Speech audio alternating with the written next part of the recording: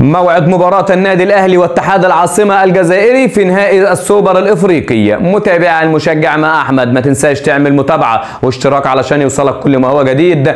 الأهلي واتحاد العاصمة الجزائري وجها لوجه في نهائي السوبر الإفريقي. بطولة جديدة تقترب من النادي الأهلي. الأهلي بطل دوري أبطال إفريقيا واتحاد العاصمة الجزائري كأس إفريقيا بعد الفوز على يانج أفريكانز في النهائي. المباراة ستنطلق يوم 1 9 القادم. المباراة ستكون يا إما في الإمارات يا إما في السعودية. هناك منافسة ما بين السعودية والإمارات على الفوز بلعب السوبر الإفريقي في الأراضي يا إما السعودية يا إما الإماراتية. ولكن الأقرب ستكون في الأراضي السعودية. الاتحاد الإفريقي حدد موعد المباراة وهو يوم 1 9 القادم. ولكن موعد انطلاق المباراة لم يحدد. اليوم تحدد 1 9 ولكن الساعة اللي هيتلعب فيها المباراة وملعب المباراة يا إما في الإمارات يا إما في السعودية. وزي ما قلنا لحضراتكم الأقرب سيكون في السعودية. بالتوفيق للنادي الأهلي وبطولة جديدة تضاف لدولاب بطولات النادي الأهلي. منتظر متابعة كل جمهور النادي الأهلي ورأيكم في الكومنتات.